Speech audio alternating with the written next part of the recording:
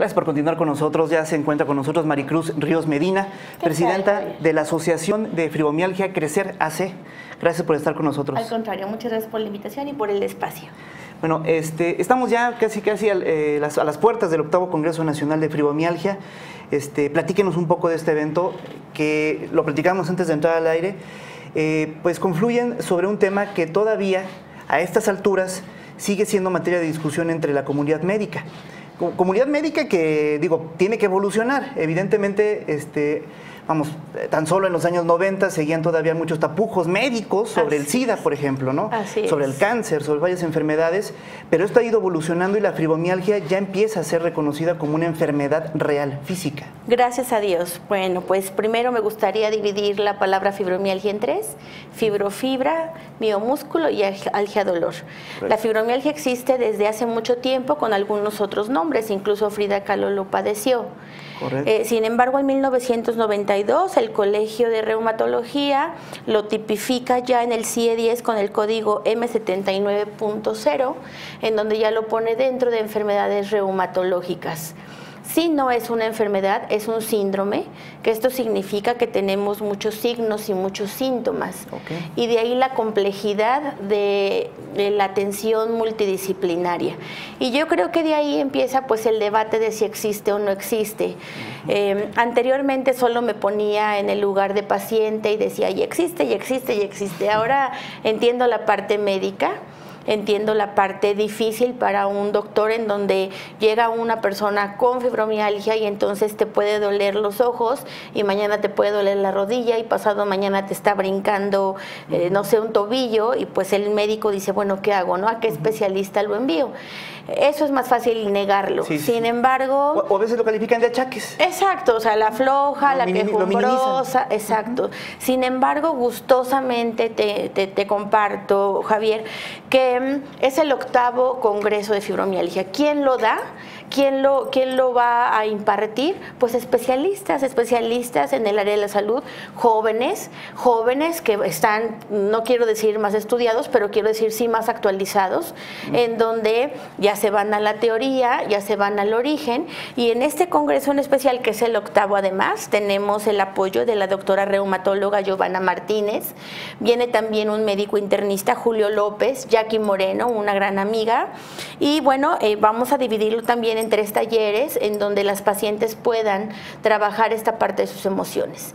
Yo soy psicóloga de profesión, soy terapeuta familiar, actualmente terapeuta gestal en estudio y bueno, pues también paciente con fibromialgia. Entonces puedo asumir como cualquier otra enfermedad, incluyendo el cáncer, incluyendo la gripa, que tiene un componente psicológico, sí, sin duda. Sí. Sin duda.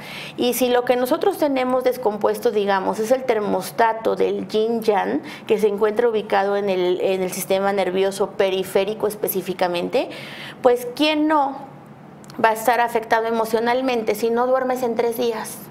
Javier, o sea, cualquier cristiano, por muy sano que esté, dices tú es que al tercer día yo sí te ahorco, ¿no? De acuerdo. Entonces, las emociones, ¿por qué? Porque segregamos demasiada adrenalina. Entonces, nuestro día a día es como vivir, si te fueras a aventar de un bungee, esas maripositas, esa ansiedad, esa angustia, pues lo sientes por el exceso de adrenalina. Incluso a veces tu cuerpo tiembla, los músculos tiemblan. Tú llega la noche y tú dices, ya Dios, que se acabe el día, por favor, pero qué casualidad que dentro del yin yang están los ciclos circadianos. Entonces, pues no hay día y no hay noche, porque las pupilas están abiertas, porque los poros están abiertos, el aire, el sol, la luz, ¿me explicó?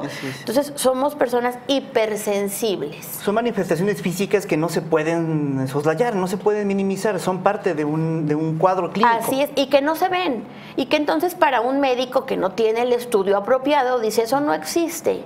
Claro que existe, está en la bibliografía. De hecho, este, fíjate que pertenecemos gustosamente a la red internacional de fibromialgia. Esta comenzó en Argentina y bueno, ya ahorita está en, son alrededor de 87 países los que estamos reunidos. Em, es muy, muy gustoso, de, de, gran honor para nosotros pertenecer a esa red, porque pues nos damos cuenta que en México estamos muy atrasados, necesitamos hacer camino. Y eso es lo que ha hecho la asociación en ocho años.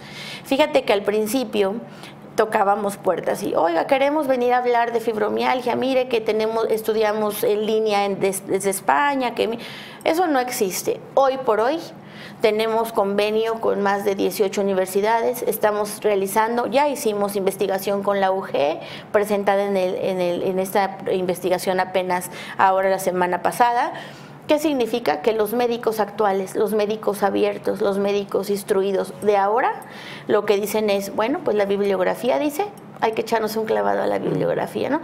No dudo lo decía un médico hace semanas, no dudo y esperemos en Dios que próximamente haya el estudio, esa resonancia magnética, ese laboratorio que diga, mira, todo lo que tú sientes, aquí está.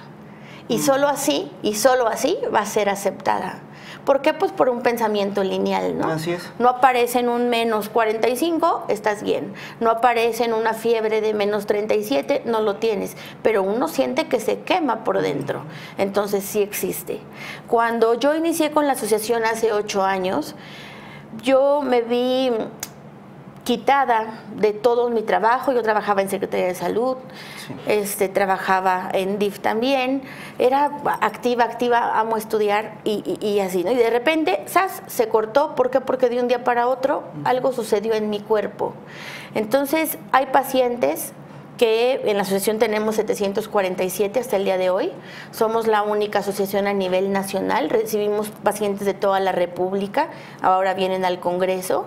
Nos decía Secretaría de Turismo, es que nunca pensé que fuera tal magnitud. Pues es que el año pasado vinieron 438 personas. Y para que se den un quemón del impacto que tiene. Así es, así es. Y todas, obviamente, canalizadas del Instituto de México, de renombre, que tú dices, bueno, estamos haciendo un buen trabajo. Sobre todo en el área psicológica, y lo remarco mucho porque no solamente trabajamos con la terapia cognitivo-conductual, que es como digamos lo establecido ya por el Colegio de Reumatología o bien por las investigaciones españolas, sino que estamos ya interviniendo con terapia familiar sistémica y actualmente con terapia gestal, haciendo cambios bien importantes.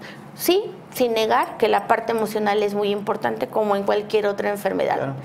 Yo creo que hay que eh, trabajar con, el, con las emociones, yo creo que hay que alimentar el alma y el espíritu y yo creo que no hay que negar la parte científica, hay que estudiar. Así es. Y bueno, como menciona, es realmente un padecimiento que eh, requiere de una atención multidisciplinaria. Así es. Y además, más allá de la cantidad de, padecimientos que, que presentemos en Guanajuato, en México, el derecho a la salud es universal. Entonces yo creo que también será una lucha paralela, ¿no? Así es. Ahorita que hablas de derecho, este, quiero compartirte que desde, bueno, la administración pasada, Em, eh, tuvimos el apoyo de la Procuraduría de los Derechos Humanos. Para nosotros hasta ahora ha sido de verdad un brazo derecho, un brazo izquierdo que ha estado asesorándonos, que ha estado acompañándonos, dándonos consejos a, los, a los que dirigimos esto y a nuestros pacientes. Porque hemos tenido pacientes que los llevan a San Pedro de los Hernández, por ejemplo, y entonces pasan por deprimidos, por maníacos, por infinidad de cosas, cuando en realidad hay que entender que el paciente vivió con, con con, dolor lleva así, hay gente con 18 años viviendo así. Entonces va con intento suicida, llevamos 16 casos. Ya hay pacientes que murieron, no de esto, lo aclaro, pero es un ciclo vicioso. Te duele, no te mueves, no te mueves, te atrofias, te atrofias, te deprimes y el ciclo está. Entonces, de ahí que en la asociación ofrecemos atención médica, psicológica, nutricional, fisioterapia y gracias a la Procuraduría de los Derechos Humanos ya firmamos el convenio de la red interdisciplinaria. De manera que un paciente con fibromialgia ya sabe con qué cardiólogo sí va a ir, que sí sabe y que te va a atender con amor y que te va a atender con respeto. Que entiende el padecimiento. Claro, y entonces está el cardiólogo, está el nefrólogo, el doctor Gabriel Gaona, por ejemplo, ¿no? Que desde un principio él dijo, pero por supuesto, y hay investigaciones y vamos a darle, y yo lo agradezco infinitamente, la doctora Juanita Camarena, Héctor Reyes, tenemos toda una gama de especialidades en donde a nuestros pacientes, al darles una carta, una carta de canalización, acuden. También es importante decir, no todos los que llegan a la asociación tienen fibromialgia. Es decir, no, esto no está de moda. Y esto es algo que peleaban los médicos y yo lo entiendo.